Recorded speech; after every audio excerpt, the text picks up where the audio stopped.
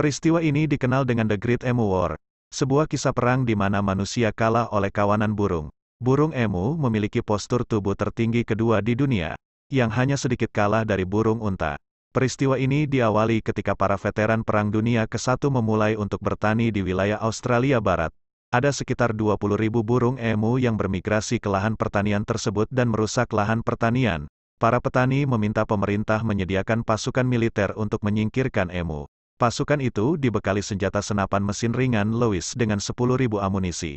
Namun dalam sebulan, Pasukan militer Australia tidak dapat membasmi burung emu dan menyerah kalah. Peristiwa ini terjadi pada bulan November sampai bulan Desember tahun 1932.